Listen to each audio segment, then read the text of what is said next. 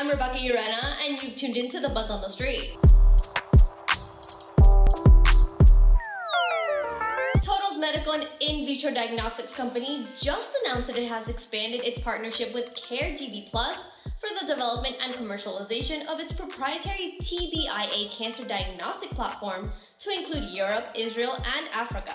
Todos originally executed an agreement for the development and commercialization of its Todos cancer test in Israel alone in 2018, and currently maintains all rights to territories outside of Europe, Israel, and Africa. Visit financialbuzz.com for more coverage or drop us a like and subscribe to keep up with more Buzz on the Street.